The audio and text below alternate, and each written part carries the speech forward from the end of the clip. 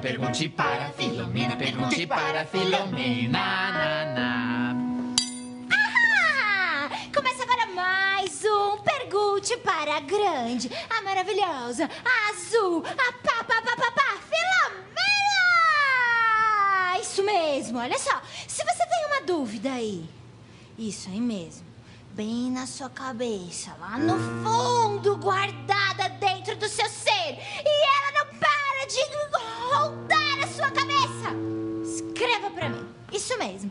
Acontece o seguinte, geralmente eu não sei a resposta, mas eu pesquiso e todas as minhas pesquisas têm um embasamento científico. São pesquisas muito sérias. Outras são embaçadas, turvas, assim, porque vieram lá do fundo do meu ser. É isso. Então, vamos lá, pessoal! É se resposta do problema, pergunte para Filomena, pergunte para Filomena. Na, na. E a primeira cartinha de hoje é azul. Ai, minha cor preferida. Nicole dos Santos, ela mora em São Paulo, SP. São Paulo, SP. Ah, é o que a Nicole falou. A Nicole fala, Filomena, me responda. Isso mesmo que eu faço aqui, Nicole. Por que nós vemos a lua de manhã com o sol? É de manhã, vem o sol, mas a lua no céu de repente surgiu. Mas por que de manhã? Mas por que de manhã? Ai, ai, Nicole, olha, eu passei muitos e muitos dias pensando na, na, na resposta que eu poderia te dar. E o que eu encontrei foi o seguinte: você sabe que a lua ela tem várias fases, né? E tem uma fase dela que é a lua cheia. Então, é a, fase cheia. Sabe, cheia? Cheia de mim, cheia de você, cheia deles, cheia de todo mundo. Tem uma fase que a lua fica assim, cheia.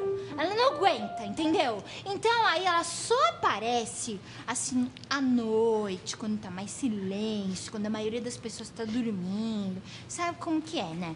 Então quando ela tá assim, meio assim, assim cheia, ela só aparece à noite. Mas tem a fase crescente. É. Aí na fase crescente a lua tá cheia de amor pra dar, sabe como que é? Aí nessa fase, ela quer ver assim, dar uma espiada na terra, pra ver o que que tá acontecendo, sabe? De dia e tal. Aí ela aparece, fica vendo as árvores, os passarinhos, fica vendo gente faz, sabe? Porque aí ela tá assim, feliz, de bem com a vida e tal. Aí ela aparece. Então, é por isso, Nicole, a lua tem suas fases, assim como todos nós. Ahá! É, sim, sim. Quer a resposta do problema? Pergunte para Filomena, pergunte para Filomena. Na, na. E a segunda cartinha de hoje é cor de rosa. Não, não, não, não, vai não, não, pegar. não, não, não. Olha só, é da Letícia Serrão de Souza. Ela mora em Votuporanga, São Paulo. Vamos ver o que, que a Letícia quer saber. Serão. É, Le- Letícia Serão. Letícia Serão. Desculpa, Letícia, eu errei o seu nome, né? Me perdoa. Ela fala assim, Filomeninha. Ai, Leticinha, fofurinha. Eu tenho uma dúvida. Por que o planeta Terra gira? Beijos, Letícia Serão de Souza. Roda mundo, roda gigante, roda moinho, roda peão. Por que que essa terra gira? Responda a minha questão. Seguinte, Lele, eu é, precisei fazer uma pesquisa. Desculpe. Eu precisei fazer uma pesquisa. E aí, eu usei a máquina do Ludovico. Sabe aquela máquina que, eles procu- que ele procura os ETs? Então, aí eu fiz essa pergunta para um ET.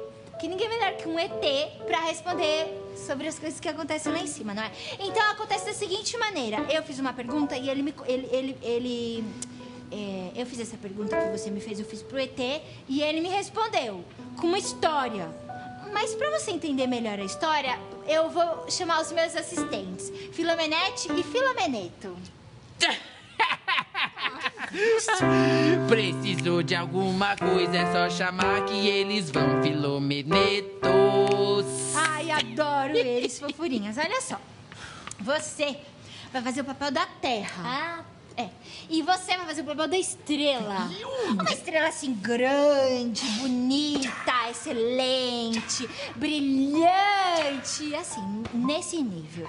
Isso. Aí, Letícia, presta sua atenção na história que o ET me contou. A Terra tava lá, quieta, na dela. Tipo paradona. A estrela também. Só que a estrela era bem grandona. Mas um belo dia, um belo dia, como sempre tem assim, as coisas acontecem num belo dia. Essa estrelona aqui, ela resolveu explodir. E como ela era uma estrela bem grandona, foi uma explosão bem grandona.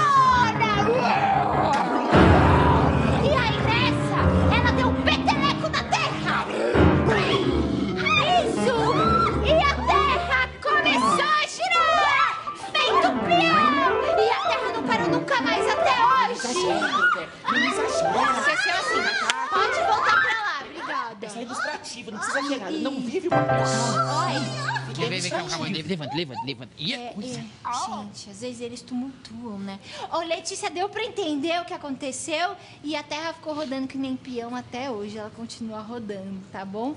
Então, beijo pra você, Letícia. E beijo pro pessoal de Votuporanga. Uh! Enchi. Quer a resposta do? Pergunte para Filomena. Pergunte para Filomena. Na, na. Agora vamos ao momento. Atenção, atenção! Momento das perguntas que chegam pela internet. Não se esqueça, você também pode mandar a sua pergunta. É, você pergunta e eu respondo. Momento pá e bola! É, é, é, é, é. E acabou o som. Perguntou é pai e bola.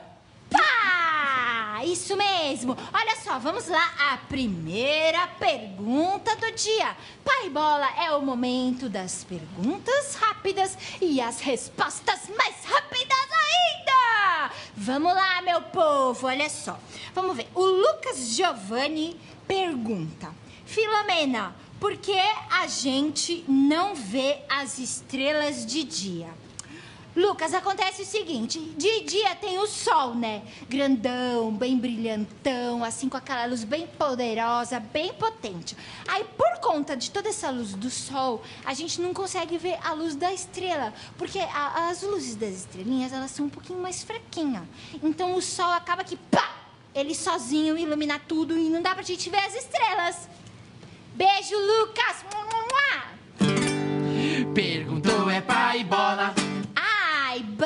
Excelente que se vira em qualquer situação. Adoro. Mua pra vocês. Olha só, a Júlia Salles pergunta: Filomena, numa mágica, quando a pessoa desaparece, pra onde ela vai? Júlia, acontece o seguinte.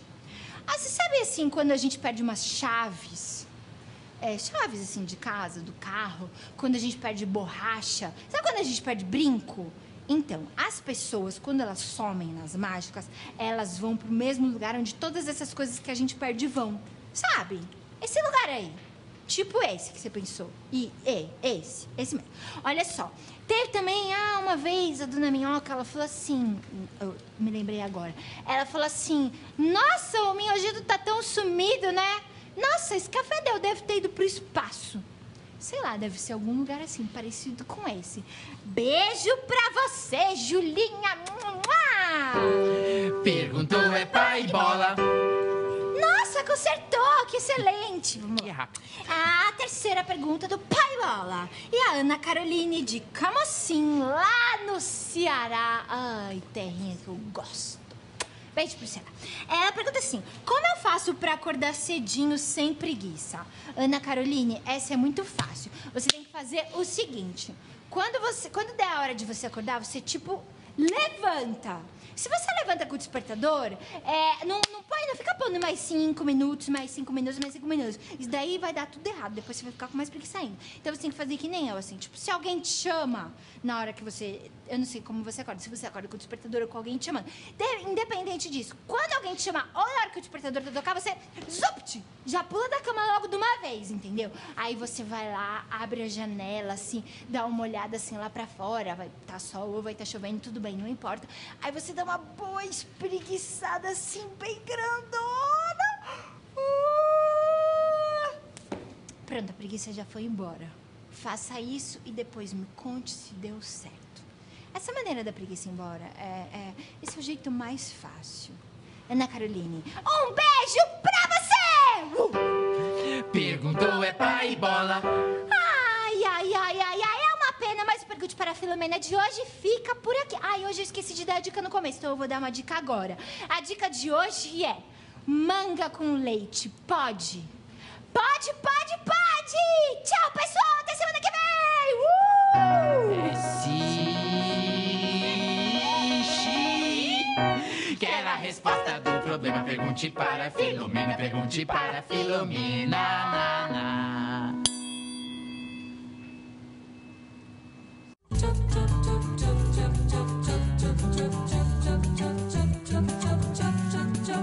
Pra combinar